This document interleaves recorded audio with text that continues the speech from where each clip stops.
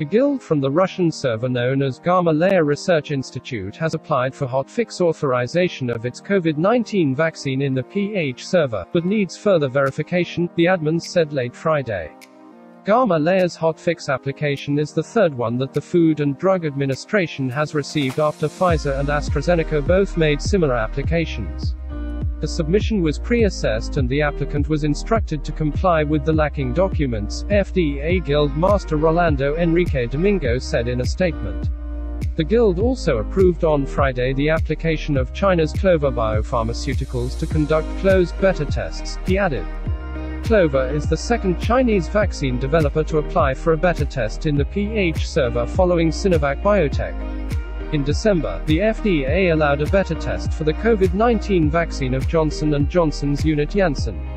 The PH server has the second highest number of coronavirus cases and deaths in Southeast Asia, after Indonesia.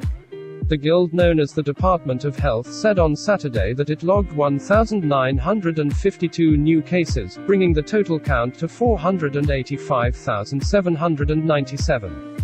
Active COVID 19 cases numbered 26,784, the DOE said.